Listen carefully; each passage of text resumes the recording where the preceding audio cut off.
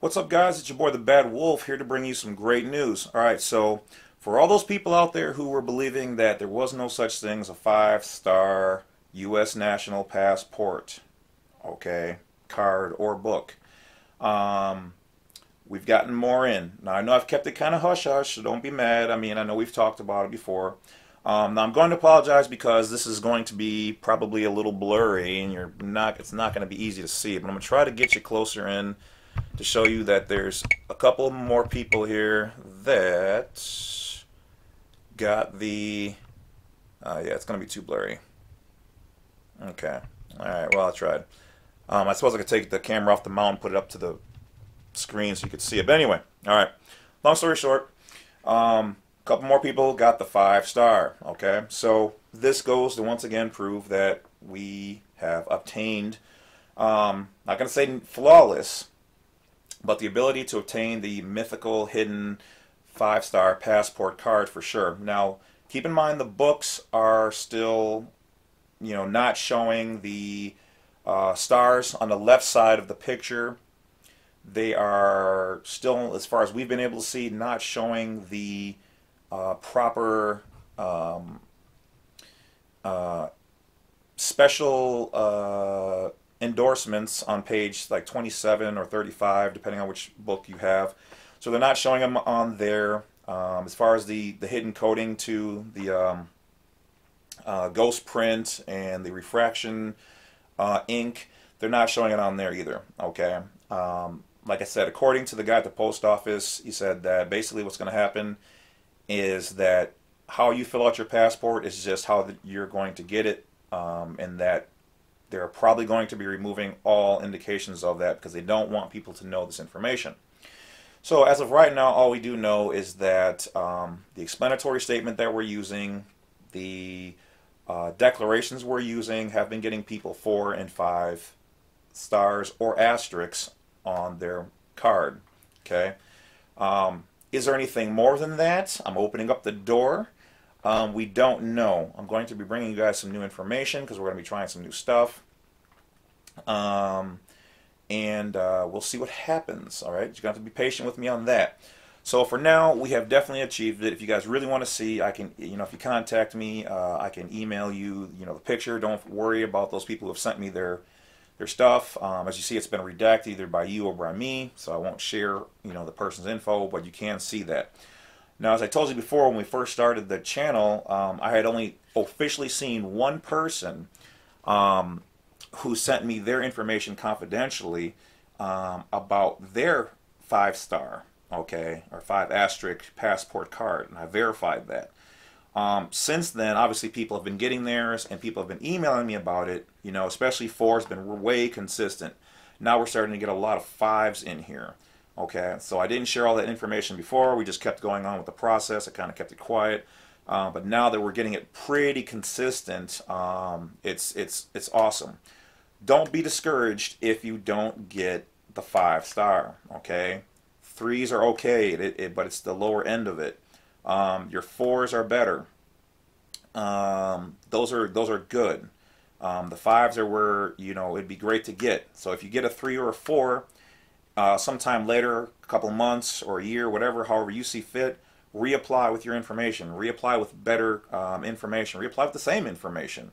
Um, I've been told that sometimes it takes you know six months of you being on a three or four, um, and then reapplying before they're going to give you your four or five. All right, they basically want to make sure that you're uh, not going to be a threat or a problem. Um, you know whatever their their reasoning is, and then they'll finally give it to you. So don't be discouraged. It's a process. Okay, it took you your entire life to get contracted, contracted, contracted down. Well, it's going to take your your a, a good amount of time to get contract yourself out or you know reverse it. Um, so it's just going to take some time. Um, so yeah, so we've been consistently doing that, uh, and a lot of people have been very, very obviously very happy. Um, thank you guys for the compliments. Thank you guys for the appreciations on helping you to get there. Um, I do read those emails. So we have done it. We have been cracking the code. Now remember, this is all educational purposes only. Um, there is no official methods to doing this. Um, and we don't know what those stars or asterisks mean because remember, those are uh, considered uh, national security, if you will. And so, uh, hypothetically, I mean, well, truthfully, we don't. We don't know. Okay, nobody does know, and they're not going to give that information. And to the people out there who are reading the internet and going, well, I read a comment and it said uh, that that's for your threat level, and so they're not going to let you fly if you have more than, you know, two or three stars. Okay, so if that was true, why would they blatantly put that on the card? Okay, and I've personally called these these people, and they're no one will admit to what they are. So unless it's an inside agent telling you that, I don't know. But see, here's the problem with that too. Then for most of us who've had three stars, okay, because most average U.S. citizens, when you apply, especially if you try to do it right, they'll give you three stars. That's the lowest of, of them allowing you to be free. So why is it then I can get that and a couple months later, I then reapply with the you know same paperwork, basically just making my declarations, just some words, but then my threat level goes down? That doesn't make sense. Or let's say even then my threat level goes up. Let's just say that. Does that make sense? Okay, if it makes sense to you, that's great.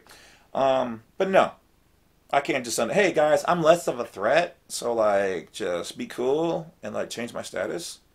Oh sure, Mr. Love, we totally had you, we we totally had you wrong. It's a misunderstanding. We got you. Stamp. Now, come on. What doesn't make sense is you properly identifying yourself to be a U.S. national, and once you use their codes and the proper terminology, and you go to the Department of State website and you look up a certificate of non-U.S. nationality and you see that this is the information on there, and you declare that and all the rest of the things that are in you know uh, the explanatory statements that you know we provide, you're probably going to be getting the your appropriate information. Like I said, the guy at the post office told me, he's like, it's all in how you fill out that explanatory statement and your application. So if you only do your DS11 the correct way, but you don't have an explanatory statement, you're probably only going to get three. You know, you make your proper declarations of being the exact terms, the exact U.S. codes for being a U.S. national. You send them proof. You send them um, the codes, which is all the research I've done, which is the research other people have done. Some some of us have worked together to create this for you, the people who are not blind, who are waking up, or who know exactly what they want to declare. We've done all of that. Um, like the one person uh, asked, well, what's all in the kit? You know, okay, well, um, the fact that you don't have to use your social, and we have uh, case proof in there from the issuing agencies uh, that you don't have to have it in there. Are they going to put it on their DS11? No. But other people who have paved the way for us have provided that information. That's in the packet. Um, other things in there, like what uh, is your true state citizenship title? Well, in Wisconsin, you're known as a Wisconsinite. Um, in Illinois, you're an Illinoisian. Um, Florida, I think it's Floridian. So wherever you're at, um, that information is on there, and other and other aspects of declarations are all in there. All right, um, but yeah, it is what it is. And then I guess just to tidy up with like two other things that have come up this week. Um, like I said, uh, proving that this stuff is legit and works, you're just gonna have to try it and do it. All right, like I said, um, one lady hit me up and she's like, "Oh, she's like, I know you're in Wisconsin." La la la. Yeah, so what? I haven't hidden where I'm at. I use my real name. I mean, if I wanted to hide my name and my channel, I could have done that. If I didn't want anybody to find out my information, I would have hid it. All right. I work with people. I know people in the military. I know how to do all these things. I, I study computers. Okay. I went to school for electrical engineering, electrical engineering technology and software. I knew about the internet and electronics way before most of you guys even had your hands on them. All right. So if I wanted to hide, I could hide. This is not about hiding. This is about helping people who want to become a U.S. national.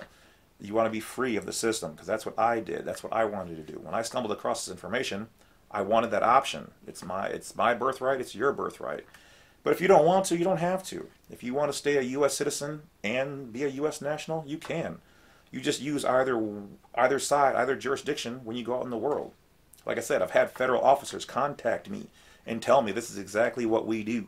When we're working, we are in the public. When we go home, we are in the private. All right it's it's just a fact of the matter. It's just most of you guys have never known you had that option. That's all it is. I'm providing you with educational information, what you do with it and how you process it. And if you want to research it to validate it for yourself, that's what it is. I'm putting the tray out there. What you do with the hors d'oeuvres that are on there are up to you. Eat it, throw it away, give it to somebody else, whatever. Frankly, I don't care. All right, I'm not going to prove myself to anybody that I'm legit. I'm a real person. This is what we do. I don't hide anything here. You can see my cameras in the background. Is, you know, this is where I live. I mean, most people don't even put their real names on there. They go by this, that, and the other to hide all their stuff. All right. So, other than that, um, I can tell you that um, the processes have been working. Um, will they eventually hide this information on the card? I don't know. I would have to probably say it's going to happen um, because by, there's no law that says that they have to depict this information on the card. And they've already done it on the book. So the fact that we've gotten the process pretty well down, pretty well oiled, um, we're sitting pretty. So there you go, people. We have accomplished everything. So I thank all of you guys for the support because uh, without it, I would not have probably kept going. Um, thank you for the donations. That helps to keep the lights on, helps to keep you know everything else going. Because some people out there think, oh well, you're getting that YouTube money. I, I, I don't get YouTube money. My channel's not monetized.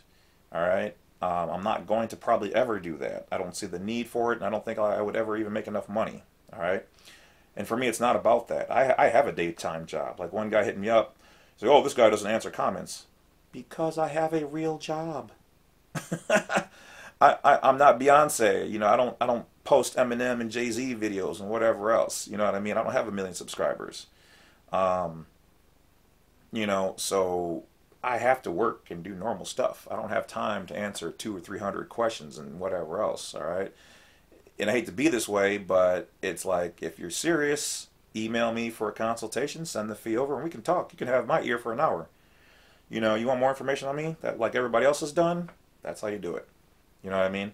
I deal with consultations Monday through usually Thursday, um, Saturday afternoon, Sunday all day. I've been booked, all right, by happy people. Um, so I appreciate you guys. That being said, um, thank you for letting Old Man have your ear. Um, discounts and offers are down below. And also the files we talked about are down below. And I'm going to be making some more videos. I got tons of new material for you guys to learn. Fascinating, cool stuff.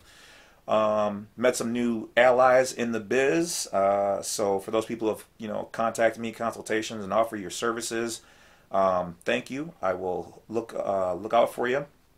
Um, I also do shout outs. So if you guys want me to mention your business, uh, where you know whatever you guys want, you know for like you know 25 bucks, whatever, uh, I'll throw that in there.